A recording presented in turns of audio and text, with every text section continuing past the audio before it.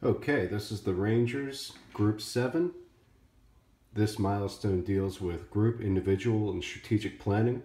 This is a, a rehearsal video, and this is a Principles of Management production for Finger, Finger Puppet Management TV, and we'll call this hashtag all in one take. Gentlemen, the time has come for the final knockout punch of the Nazis. Let us not forget how it has come to this, and it shall be our finest hour. Why are we here? What have we done, and what can we do? We have all suffered losses against Nazi expansion. They stand as an existential threat to the nations we all represent. Encroachment on Soviet nations and His Majesty's Island are unacceptable.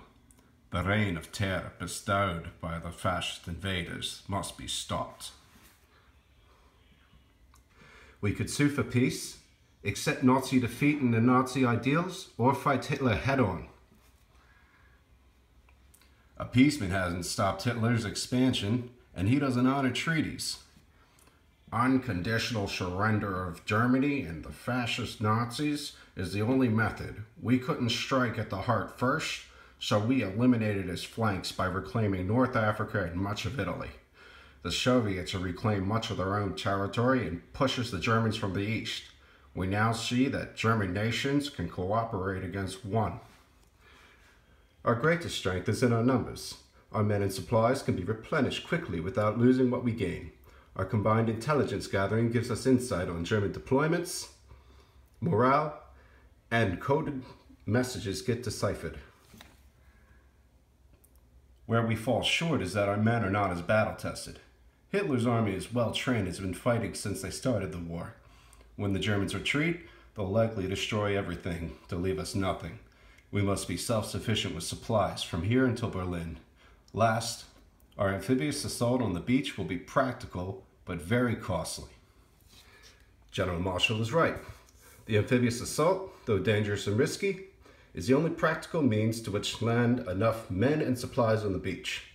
Fortunately, the invasion is set on June 6, a day that brings an unusually high tide.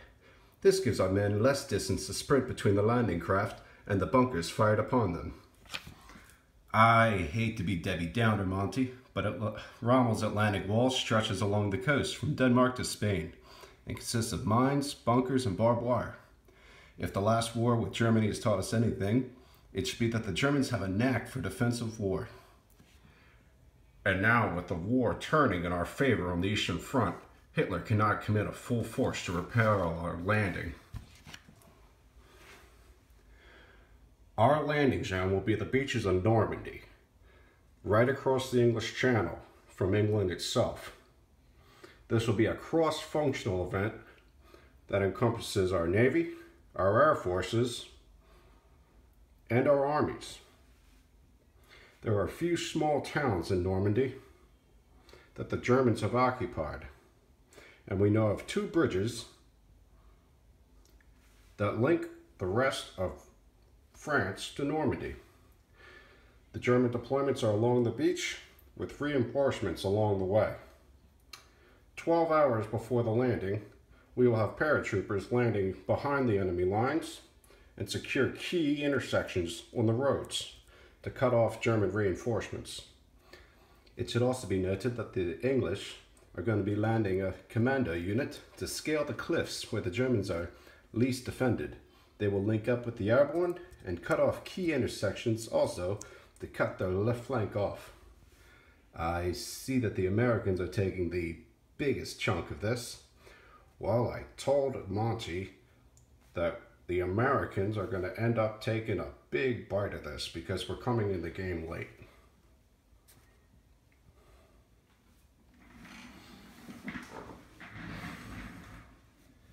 I must warn you, do not go into this overconfident.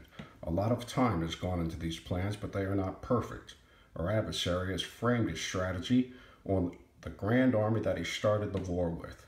He takes omens for randomness of events that surround it and his Nazi ideology is based on selective perception of Aryan supremacy and the seeking out of specific instances for confirmation. If we do not put everything we have behind D Day, hindsight will not be kind to us, and there will be no rectifying of sunk costs.